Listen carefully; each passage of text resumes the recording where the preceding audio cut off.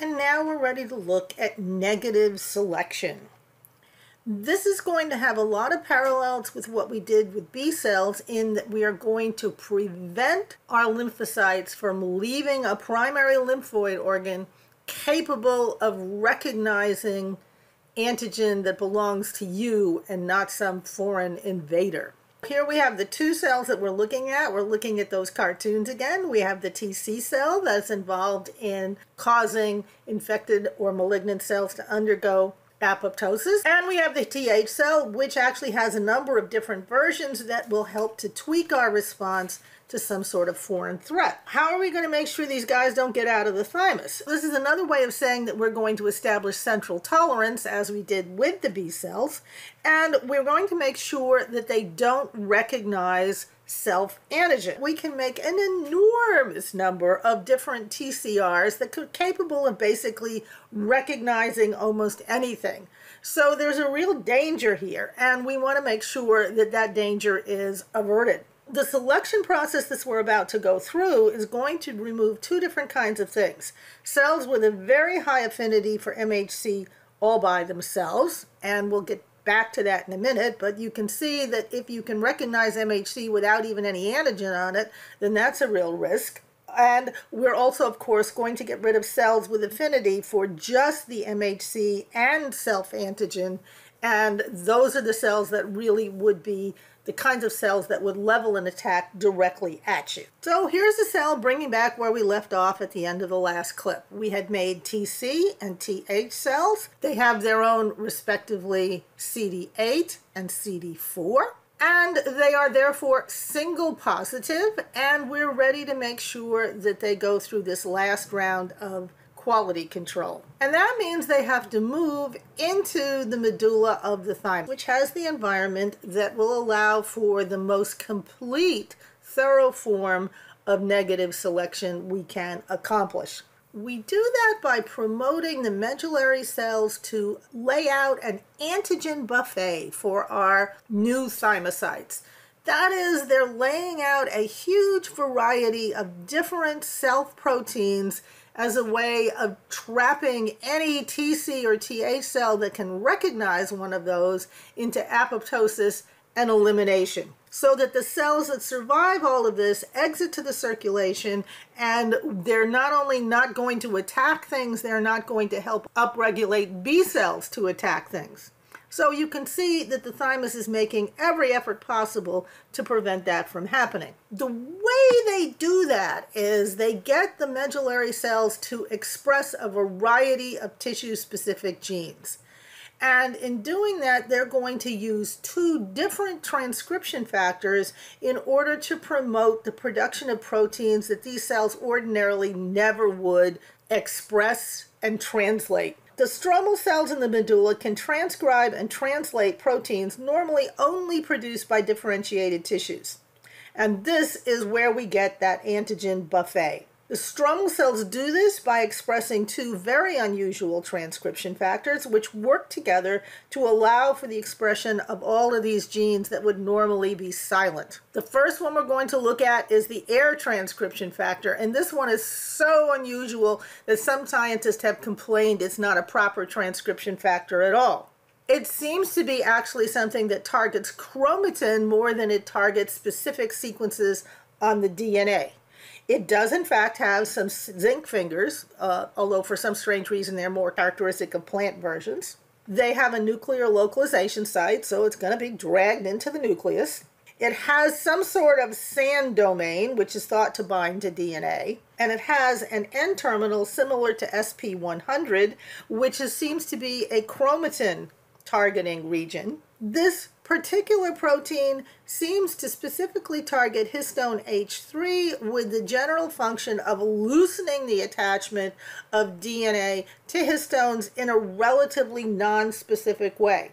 It also interacts with another protein, CREB, and this is a general upregulator of transcriptions, which kind of makes it sound like it's loosening up the DNA and then calling in some troops to come and do the actual promotion of transcription. When I looked at this protein, all I could think of is, my goodness, what a multi-crazy purpose protein this is. This reminds me of a Swiss Army knife. It seems to have all kinds of subparts that are designed to attract, attach, open up all different parts of the genome. So it's randomly upregulating transcription in thymic epithelial and dendritic cells. And mutations in this are inherited as a classical Mendelian autosomal recessive.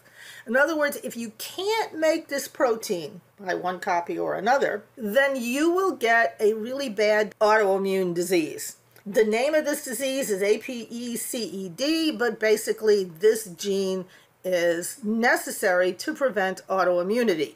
And in fact, the name AIRE refers to the fact that it's autoimmune regulating. And when you don't have it, then you get autoimmunity. Our second transcription factor upregulates an entirely different variety of tissue specific genes. So we're really going to need both of these guys. This is the FEZF2 transcription factor. That is an abbreviation for forebrain expressed zinc finger protein 2. So this does have zinc fingers on it, which does suggest it binds to the DNA. And in this case, it seems to bind fairly directly.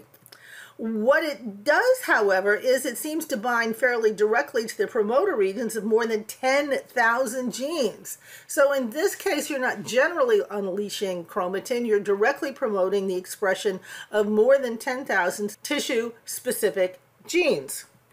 And again, if we have a non-functioning mutation for this in homozygous condition, we're going to get a really bad case of autoimmunity. But if you look at the autoimmune disease produced by that genetic defect, it actually works very differently from the one that was produced by the AIRE mutation. So it turns out we're going to need both of these transcription factors in order to upregulate the production of all the different proteins we need in order to protect ourselves from self-recognition in thymocytes before they leave the thymus. So in addition to this, I want to get back to what I started with. We not only have to get rid of cells that recognize self-antigens, we also have to get rid of cells that bind too tightly to MHCs just on their own, and that's going to lead us to the Goldilocks principle a principle of just exactly how tight should your TCR bind to your MHC. Here we have a, a, a picture showing a uh, basically the same receptors, just part of them, binding to MHC molecules, and these are shown with the little antigens. But supposing you have a receptor that binds to either MHC1 or MHC2 so strongly that it doesn't matter whether or not there is an antigen in there. Well, if that thing gets loose in your body, heaven only knows what it will do. It could upregulate all kinds of random attacks on things that were simply displaying an MHC molecule. So the first things that get deleted in negative selection are those receptors that bind to MHC all by itself too tightly. Then they also get rid of those cells that have receptors that bind to MHC plus this antigen while it's still in the thymus. Why is that? Because those are the cells that are recognizing self-antigen and could lead to autoimmune problems. And the bottom line is you're getting rid of anything that's binding too tightly and you're going to let loose things that are only binding a little bit. Recall, when we went through positive selection, the only thing that got through positive selection was something that could at least bind kind of, sort of, or even more to an MHC molecule. Now, when we get rid of these cells that have something that binds to the MHC molecule too tightly, we are getting rid of those things that could cause trouble. And down at the end of this, we're into something I refer to as the Goldilocks principle. You want something that leaves your thymus binding neither too tightly nor too strongly because what you want then is a T cell that leaves the thymus with an ability to bind to MHC2, but it can only bind to MHC2 if it also has a bit of antigen on it that that TH cell is specifically designed to recognize. And that's what you want. So you're looking for something that has a specificity for MHC2 and an ability to bind only those things it hasn't previously encountered in the thymus. What actually helps with this is here, look, look closely at loops 1 and 2. Okay, so I'm going to point out loops 1 and 2 on the beta subunit and 1 and 2 on the alpha subunit of the other one. And these are actually the loops that bind the MHC. And so these loops do have, although they're highly variable, a bias for picking up one or the other of the MHCs. Now, if they hit it too strongly, you're out of luck. On the other hand, we have the third loop, okay? So here's the third loop of the beta subunit, which has the high variability. And here's the third loop of the alpha subunit, which also has variability. And these are the ones that are going to be in contact with the antigen. So what you want is something that has loops 1 and 2 recognizing the MHC and loops 3 on both of them recognizing an antigen that they can't have seen before, which by definition makes it foreign.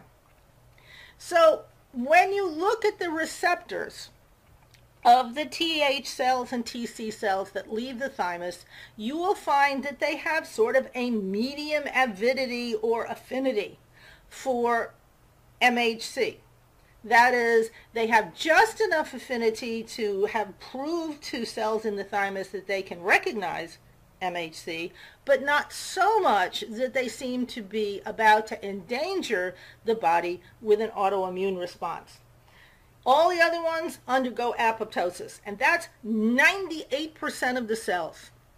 And of that 98%, more of them flunked the positive test than flunked the negative, but only a medium binding strength permits survival. And you can see that this is a tricky enough set of criteria that lots of cells die, and in fact, 98% of them do not make it through this.